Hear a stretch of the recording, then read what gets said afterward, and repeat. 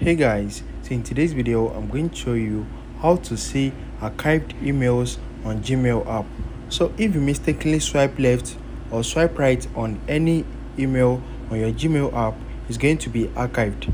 So if you click on these three lines at the top left corner you are not going to see any archived option. So in order for you to see all the archived emails let me show you how to see them. And if you want to recover it back let me show you how to do that also so once you open your gmail app right here click on these three lines at the top left corner and you need to click on all emails.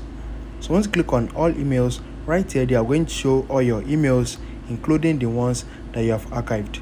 So as you can see this is the one that i archived. So if you want to move it back to your emails if you want to unarchive it just click on it and click on these three dots. Once you click on the three dots just click on move to inbox. And right now you can go back to your primary and you're going to see it there. So as you can see it is very easy. So let me show you again. Let me archive this one and this one. So click on these three lines. Click on all emails.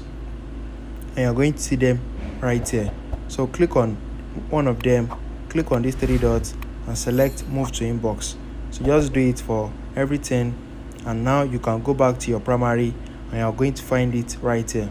So if you found this video helpful smash the like button and subscribe to my channel for more amazing videos like this. Thanks for watching guys